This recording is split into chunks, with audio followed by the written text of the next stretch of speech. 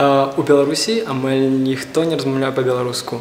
Па-беларускі па-беларуску гавораюць толькі ў вёсках, але ў вялікіх гарадах амаль заўсёды чуецца руская мова.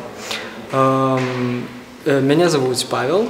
Я звычайны беларускі хлопец, нарадзіўся у невялікім горадзе ля мінска, сталіцы маёй краіны.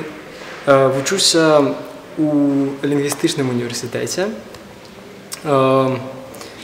Гэтым летам я вырашыў паспадарожнічаць з маім сябрам. Мы вандруем па балканах,